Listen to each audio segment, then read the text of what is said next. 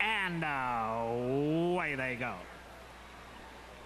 On the far side, Beholder came out quickly. Micaiah is showing good early speed as well. Pat's back in the red cap, now sent through on the inside to join them. Renee's Titan right there.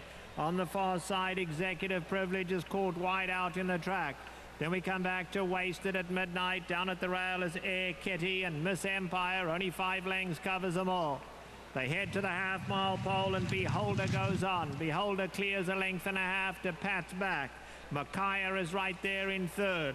On the far side, Executiveprivilege just can't get in as they're going to have to go wide throughout.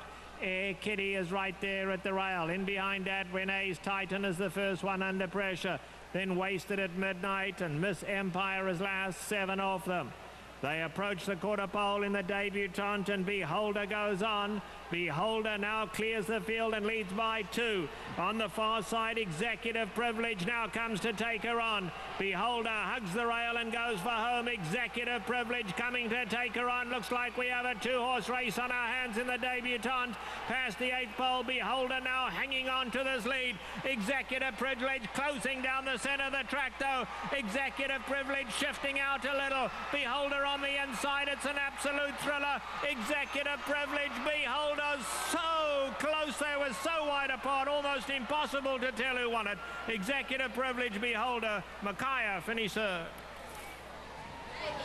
An absolute thrilling finish to the end of the Del Mar debutante here. Yesterday, 24 hours ago, we saw a stretch duel between two Hall of Famers.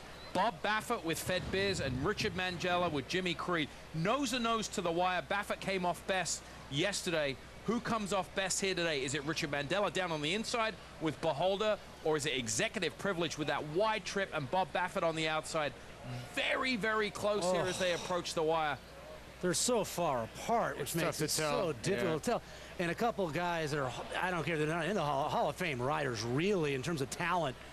And Shutter Cam tells us nothing. Wow, that's really close. You're going to have to go with the inside pan shot, too, because the mirror in front is where the line is, and the nine might have had his her lip down there. This is very close, but if you bet the eight or nine, whichever one loses, you're going to get your money back because that was your first win and you bet it on mobile.tvg.com. That's exactly right. Photo sign is down. Bob Baffert just waiting there anxiously. The eight, Executiveprivilege remains undefeated as the best two-year-old filly here on the West Coast. He stands up very, very happy. I don't think he thought he had it there beforehand. And Bob Baffert, 101 uh, stakes wins. And how tough between him and Mandella, this battle in the last 24 hours. I mean, yesterday was a thrilling race in the El Cajon. They've come right back here again today. This filly had a, a horrendously wide trip.